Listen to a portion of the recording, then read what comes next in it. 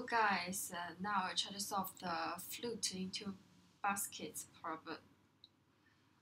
Uh, the problem statement uh, seems very complicated, but uh, indeed, uh, this problem just asks us to calculate the max window, which only has two different characters, uh, which at most have two different characters.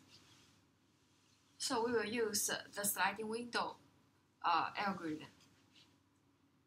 We keep a valid window, and every time we move a high pointer forward, and uh, at every pointer we will move lower to make sure the window is valid, and we keep a compare the window size. So let's do it. First, do a check if tree equal to none or tree dot length um, equal to zero, return zero. And then we, as usual, we also need a hash map to do the um, different um, kind of flute and their frequency calculate. Uh, hash map.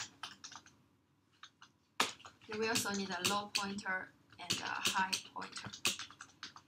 uh, sorry, uh, yeah. And we also need a max size. Um, at least will be one. Also, we do high equal to zero, high less than tree dot length, high plus plus. Okay.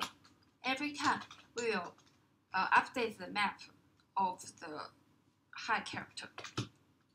Put uh, tree high map get or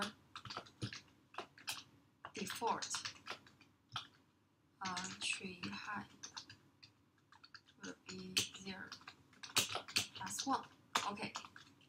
Because we want this window to be valid, so we will, every time if the map size larger than 2, we should move this low, right? And uh, there is a um,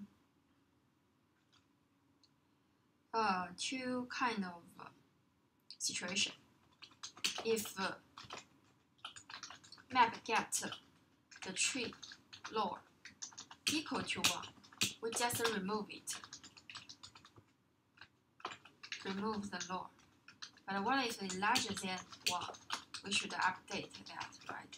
Should update tree lower and map get tree lower minus 1 every time we should move low forward. And now this window is valid, so we should up update the size, max size, and high minus low plus 1. And finally, we return this max size. So basically, it's um, um, simple. Huh? Uh, oh, sorry. If you know the sliding window algorithm, Okay, so that's it. Thank you for watching. Happy coding!